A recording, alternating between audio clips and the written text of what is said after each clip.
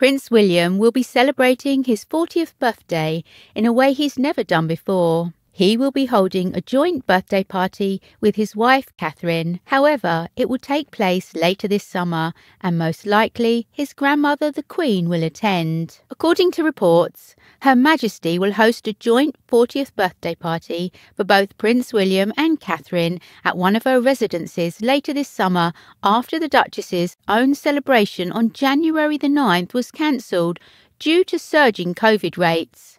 The Duke of Cambridge turned 40 on Tuesday and has been given permission to celebrate his birthday at Windsor Castle or Sandringham. Royal sources have revealed that the Duke and Duchess should celebrate their landmark birthdays in style, in a historic tradition for the family which sees multiple members collaborate their big bashes, and the Queen, 96, may join them and other senior royals at the bash if she's feeling up to it. According to the Mirror, a palace source said the monarch, who has suffered from increasing mobility issues in recent months, will not confirm her attendance until the day of the party but senior royals, including the Prince of Wales and the Duchess of Cornwall, are set to be in attendance, in line with the royal tradition of celebrating decade milestones for senior members of the family, the publication reports. Historically, a similar royal party to what is expected this summer was held at Windsor Castle back in June 2000, which saw the family get together for Prince William's 18th birthday, Prince Anne's 50th, Prince Margaret's 70th, and Andrew's 40th. William just turned 40 on Tuesday. He marked the milestone in a very special way by releasing a series of photos of him with a big issue seller. The photos were released after the Duke vowed to step up his campaign work to help tackle homelessness. Earlier this month, David Martin showed William how to sell the big issue magazines that give an income to people who are homeless. William, who appeared on the front page of the magazine, wrote, So, for my part, I commit to continue doing what I can to shine a spotlight on this solvable issue, not just today, but in the months and years to come. And in the years ahead, I hope to bring George, Charlotte, and Louis to see the fantastic organisations doing inspiring work to support those most in need, just as my mother did for me.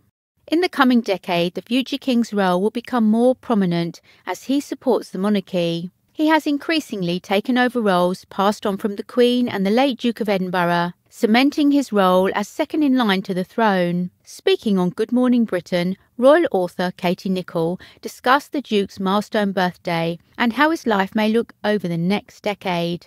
Good Morning Britain correspondent Jonathan Swain said, As he, William, enters his 40th year. His birthday is today. Royal watchers say this is all about Prince William now, trying to establish himself as a future king. Ms. Nichols said, I think what we are going to see in the next decade is see him put down the markers for the future Prince of Wales that he's going to be and the future king. I think, because that's going to be the focus for the next 10 years, this feels like a very significant birthday.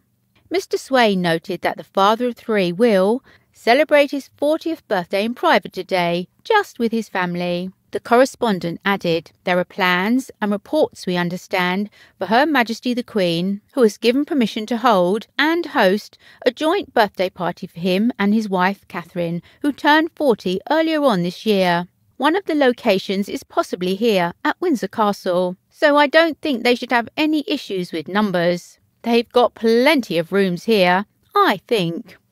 Ahead of his 40th birthday, William was praised by the public over his stance against his uncle Prince Andrew, whom he would want vanished from public view.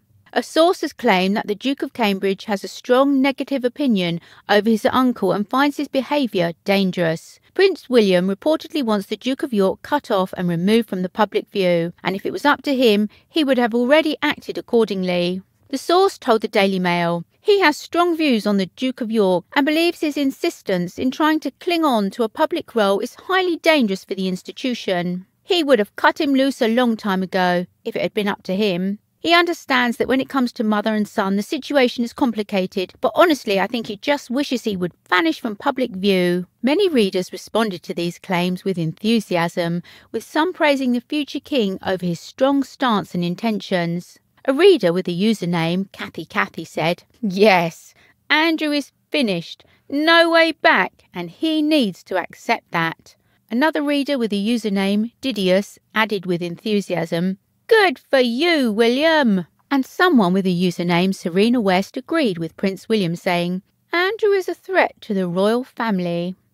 Earlier this year, Prince Andrew paid millions to settle a civil case in the US between him and his accuser, Virginia Giuffre. He has always vehemently denied the claims, and the settlement is not an admission of guilt.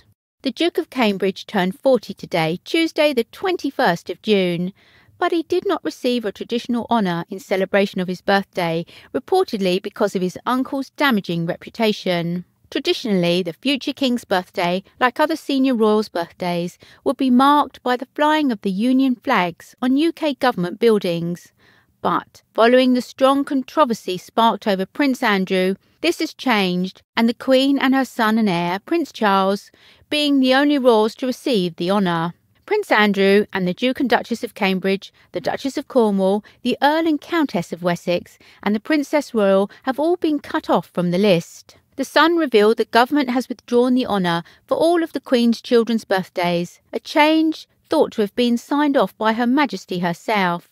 Insiders say the widespread culling of family members was made so as not to upset Andrew, who is decidedly pricky on these sort of matters.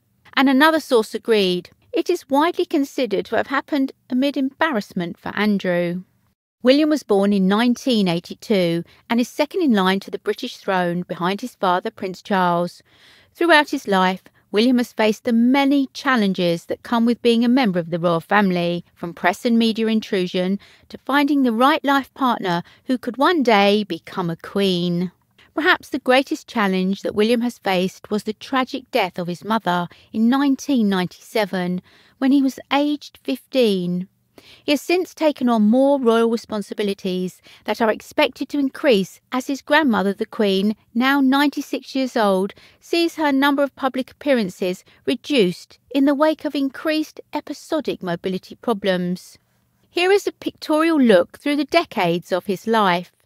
The 1980s. Prince William Arthur Philip Louis of Wales was born second in line to the throne at St Mary's Hospital, Paddington, at 9:03 p.m. on June the 21st, 1982. He weighed seven pounds one and a half ounces and was the firstborn son of the heir to the throne, Charles and the Princess of Wales. At just nine months old, he accompanied his parents on their six week official visit to Australia and New Zealand, a move which was a break from royal tradition. Throughout the 1980s, William was one of the most photographed babies on the planet, sharing the spotlight with brother Harry when he was born in 1984. The Wales family lived between Kensington Palace in London, where William and Harry went to preschool, and Highgrove House in the Gloucestershire countryside. Both children learned to ride horses from a young age on a small grey pony named Smoky. William also grew close to his grandmother, the Queen, as the family spent summer holidays with her in Scotland. The 1990s.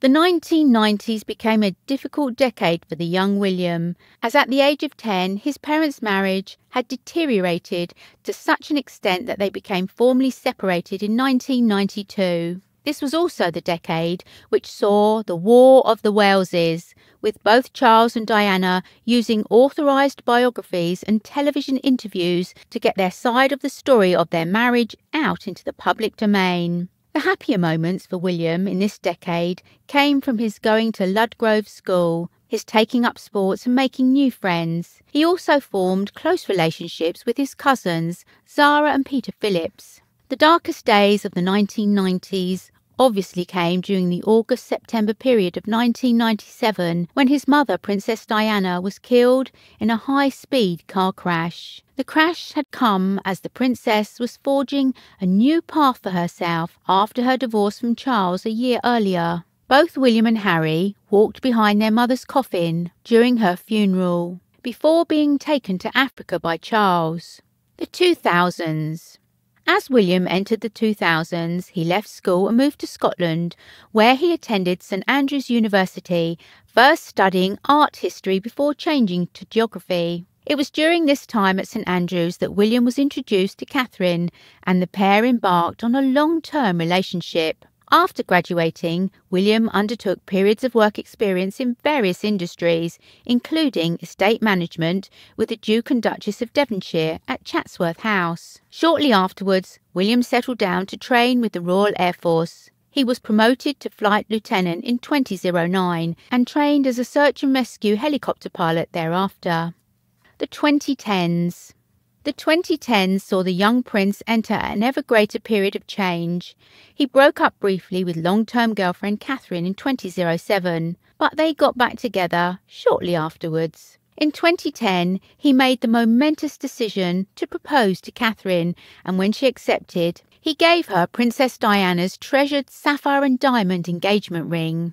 The royal wedding took place at Westminster Abbey on April the 29th, 2011, with over 60 million viewers tuning in to watch in the US alone. In the years following the wedding, the couple welcomed their three children George, born in 2013, Charlotte, born in 2015, and Louis, born in 2018. William continued as a helicopter pilot until 2017, when he took on royal duties full time. Despite the 2010s being a decade of joyous events, including the wedding of Prince Harry and Meghan Markle, in 2018 it also signified the start of a reported rift between the once close brothers, which would carry through into the 2020s the 2020s. Though the 2020s started with the stepping down from royal life by Harry and Meghan, little could the family foresee that there was a looming pandemic that would alter the nation's way of life for over two years.